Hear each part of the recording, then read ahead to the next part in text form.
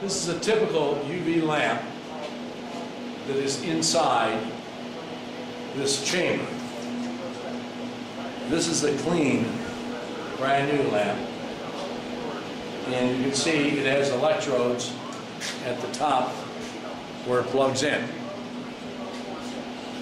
You have to be very careful not to touch the glass, as this is ultra-high pure glass, to allow the light to leave the inside of the glass envelope to the outside to get it the water to disinfect it.